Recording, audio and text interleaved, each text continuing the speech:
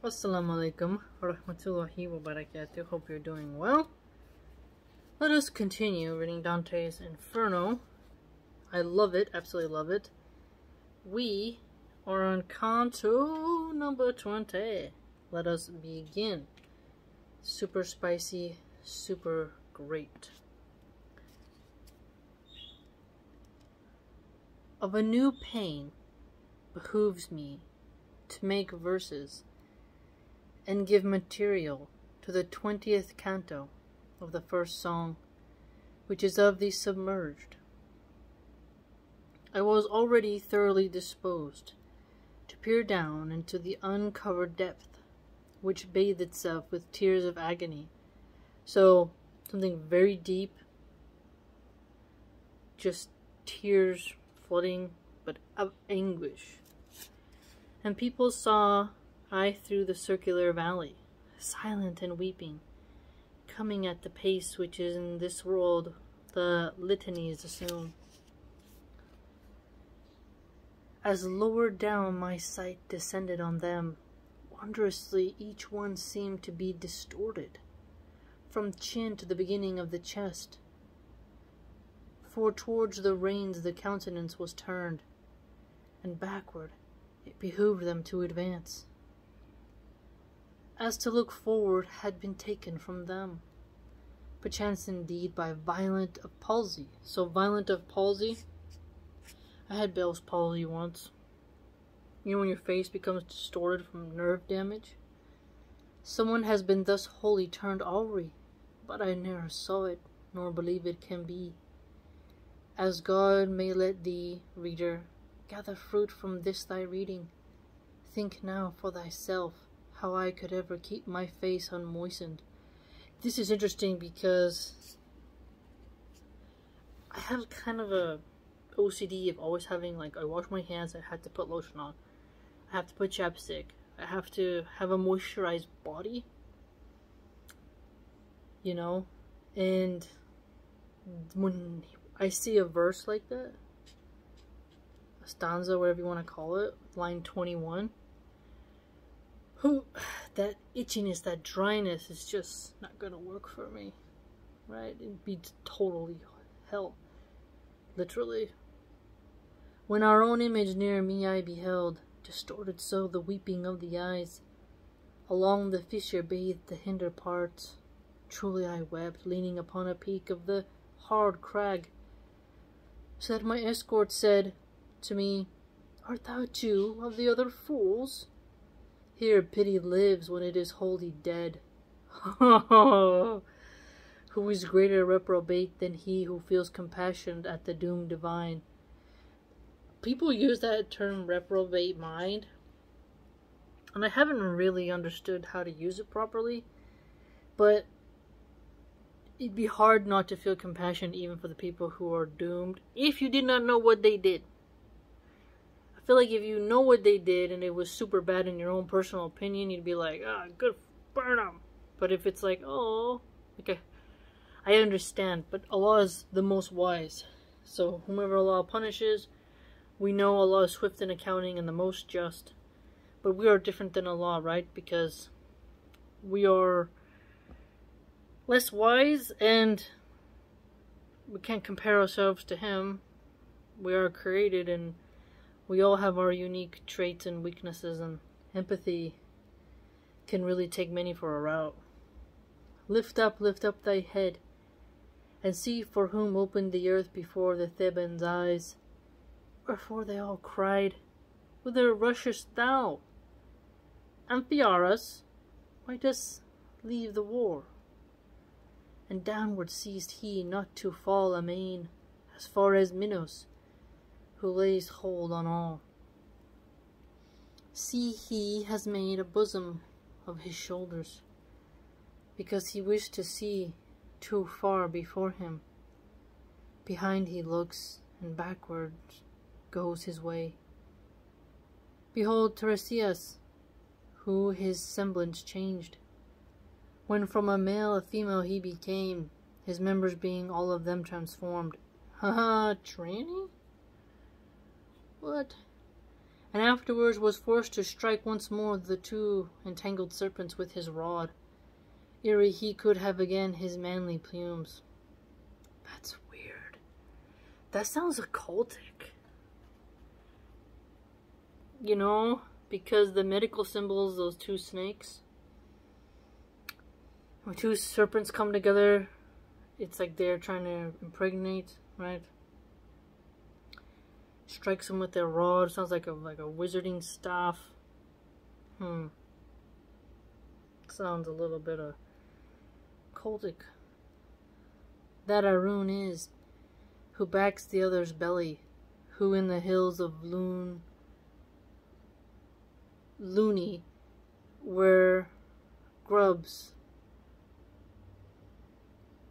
the Carrarese whose houses underneath. That one was less smooth, that, that those lines. Among the marbles white a cavern had for his abode, whence to behold the stars, and see the view was not cut off from him. And she there who is covering up her breasts, which thou beholdest not, with loosened tresses, and on that side has all the hairy skin, was Manto, who made quest through many lands, afterwards tarried there where I was born, whereof I would thou list to me a little. After her father had from life departed, from the city of Bacchus, had become enslaved, she a long season wandered through the world. Above the beauteous Italy lies a lake, at the Alps' foot that shuts in Germany, over Tyrol and has the name Benaco. By a thousand springs, I think, and more is bathed. Twixt Garda, Val, Camonica, Pennino, with water that grows stagnant in that lake. I think that line, those lines is where you need to know the geography. Midway a place is where the Trentine pastor, and he of Brescia and Veronese might give his blessing. He passed that way, sitteth Peschiera, fortress fair and strong, to front the Brescians and the Bergamasques, where round about the bank descendeth Lois. There of necessity must fall whatever in bosom of Benaco cannot stay, and grows river down through verdant pastures soon as the water doth begin to run. No more Benaco it is called, but Mincio, far as Governo, where it falls in Po. Not far it runs before it finds a plain, in which it spreads itself and makes it marshy. And oft 'tis wont in summer to be sickly.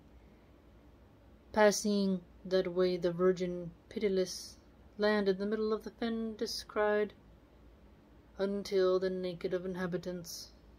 Untilled and naked of inhabitants. So, nobody lives there. The land isn't tilled, nothing's growing there. Grass is just going nuts. There to escape all human intercourse, she with her servant stayed, her arts to practice and lived, and left her empty body there.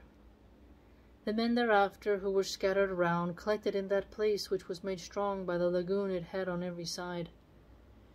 They built their city over those dead bones, and after her who first the place selected, Mantua named it, with without other omen. So they built a city for these people died? His people once within more crowded were, eerie the stupidity of Casalodi from Pinamonte had received deceit. Therefore I caution thee, if ere thou hearest originate my city otherwise, no falsehood may they verity defraud. And I, my master, thy discourses are to me so certain, and so take my faith, that unto me the rest would be spent coals. But tell me of the people who are passing. If any one noteworthy thou beholdest, for only unto that my mind reverts. Yeah, kind of like your mind does want to know, like, is there anybody of note there? Then he said to me, he who from the cheek thrusts out his beard upon his swarthy shoulders, was at the time when Greece was void of males, so that there scarce remained one in the cradle, an augur, and with the Calchas gave the moment. In Aulis, when to sever the first cable. Eurypylus his name was, and so sings my lofty tragedy, in some part or other, that knowest thou well, knowest the whole of it. So when Greece was void of males, their mythology. The next, who is so slender in the flanks, was Michael Scott. That's funny, Michael Scott is also the name of the Office character, who of a variety of magical illusions knew the game. Behold Guido Bonatti, behold Asdente, who now unto his leather and his thread would fain have stuck. But he too late repents. Behold the wretched ones who left the needle, the spool and rock, and made them fortune tellers. They wrought their magical spells with herbs and image, but come now, for already holds the confines of both the hemispheres, and under Seville touches the ocean wave, Cain and the thorns. And yesternight the moon was round already.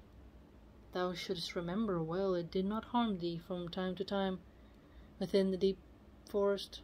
Thus spake he to me, and he walked a little while. Interesting. A lot of name droppings. We would be, need to be familiar with these figures. In Italian history, right? The pitiless virgin mentioning the lagoon on every side building a city of the dead bones. We have a lot to think about in terms of geography. So if I were you, I would go through and see if you can find on a map these places, see how pretty they are. It's a scary thought to think of a place being void of males, and he says not even in the, not even in the cradle. That's intense. Quite scary. It would be a sad time if there was no males around. I'd argue. Hope you enjoyed that reading. I absolutely think this is unique and it's a classic in Italian literature. Uh, you you're gonna come across him, and it's, it's really important to have a bit of culture, see what's going on.